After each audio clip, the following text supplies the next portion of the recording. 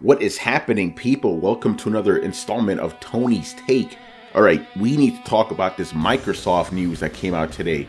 Now, I had gotten a press release of the event that happened last week, and I didn't see anything interesting. It's like, okay, you got Gears of War coming to PC, you got Ori and the Blind Forest Definitive Edition, you got Forza. I think it's like a Forza that's specifically made for PC. Um, Forza Horizons getting um, or for no Forza Six, excuse me, is getting a new pack. Nothing, nothing really interesting, right?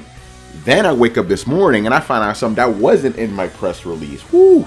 So apparently, Xbox One is going to be more like a PC, or even more like a smartphone. So let's break this all down. So Phil Spencer at the event that happened last week, he announced how they're going to have the universal Windows applications run through everything PC, Xbox One, smartphones, all that, right? So they could just unify it all into an ecosystem, which makes sense. Actually, Xbox has already been going down this route for a while now. If you really think about it, like you know, Quantum Break is coming to PC. Uh, Gears of War is going to be having um, currently, excuse me, currently has cross-platform play between uh, PC guys and Xbox One guys, right? So it's all coming together. So but now they just basically really detail what, what they want to do. So basically, Phil Spencer believes that you know they're kind of locked in when it comes to uh, consoles, right? Like they have their hardware and they're stuck with it for seven years. They don't want to be stuck like that anymore. So now they're going to take the model of, as he said, other technologies out there which innovate. What does this mean? It's pretty simple. It basically means that you're going to get a new Xbox system uh, maybe every year or two. You know, I know some of you guys are saying, oh no, they're gonna have add-ons. No, it was pretty clear what he said.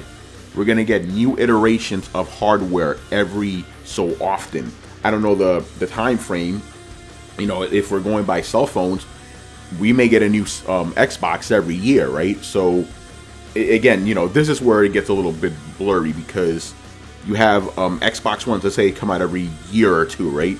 How much are they going to cost? We don't know that. I mean, currently an Xbox is available for $350, 300 in some cases.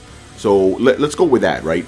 You have a new Xbox, essentially $300. Let's go with that, $300 every year. Will people be willing to go down that route?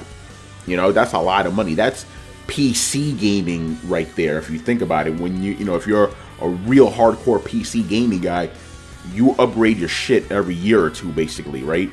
This is now the route that Xbox seems to be wanting to go in. However, the good thing about it is they're not excluding old games, right? Let's say, for example, you bought the current version of Xbox. Every game's still going to be able to work on it, right? And if you buy a newer version of Xbox, all the old games are going to be able to work for it too. So the whole issue of backwards compatibility doesn't exist. It, you'll be able to play all your games just fine. Just like PC. As Phil Spencer said, you know, you could play your, you know, you could play Quake and Doom on your PC, but still run stuff at 4K, right? So all that's still there. So in that sense, it's good.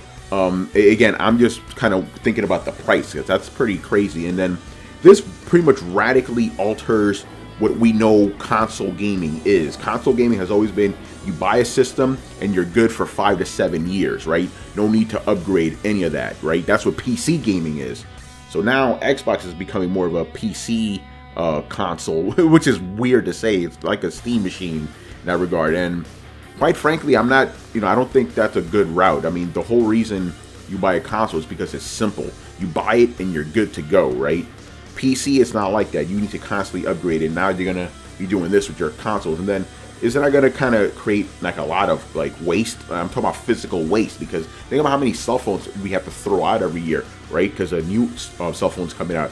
Same thing's gonna happen to Xbox. Maybe there's gonna be like a I don't know like a like a plan or something where you could you know ship back your old Xbox and get a new one for like a little bit off. You know, it's all it, it's a weird weird thing, but I kind of like from a business standpoint, it makes perfect sense, right? You want to unify everything. From a gamer standpoint, I don't know, man. Like it, it's just really weird. I can't really say this is a good or bad thing one way or another. I'm leaning more towards it's not a good thing, but I can see the benefits, right? So I'm not really here to throw any bombs. I know some of you guys are probably expecting me to throw bombs. No, no, no. I, I don't know. It's it's too new to tell, and there's still a lot of things we don't know yet that we, we just don't know. We just don't know. So we'll have to see. But yeah, there you go. The long and short of it is expect the Xbox One to have new iterations every so often. I'm going to say every two years or so.